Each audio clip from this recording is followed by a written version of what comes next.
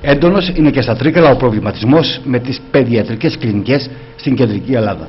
Η Ομοσπονδία Νοσοκομειακών Γιατρών Ελλάδος ζητά την άμεση πρόσληψη παιδιάτρων. Η εκρηκτικότητα του προβλήματος της έλλειψης παιδιάτρων στη Δυτική Θεσσαλία θα σας έλεγα και συνολικά στη Θεσσαλία γιατί παρεμφερεί προβλήματα πάρα πολύ μεγάλα έχει και ο νομός Μαγνησίας και ο νομός Λάρισας. Και στο νοσοκομείο της Μαγνησίας έχουν μείνει μόνο δύο παιδίατροι, ε, ένας ακόμη στο κέντρο υγείας Σκιάθου και ψάχνουν να βρουν τρόπο εφημερίας.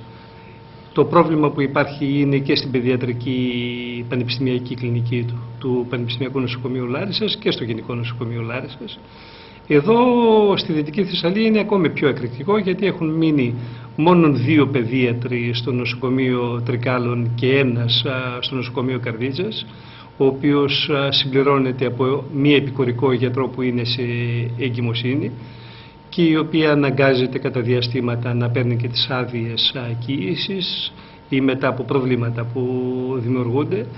Και έτσι αυτό το εκρηκτικό πρόβλημα που παρουσιάστηκε με την αδυναμία εφημέρευσης για παιδιατρικά περιστατικά του Σαββατοκύριακο στο νοσοκομείο Καρδίτσας θα διονύζεται όσο και αν επιχειρούν να, να δώσουν λύσεις με ανακατανομή του προσωπικού οι οποίες είναι λύσεις ανακατανομής της μιζέριας καθώς πρόβλημα όπως σας λέω είναι συνολικό στη Θεσσαλία.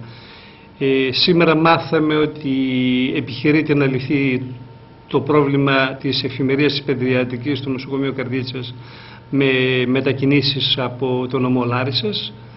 Ε, και αυτό η λύση προσωρινή είναι.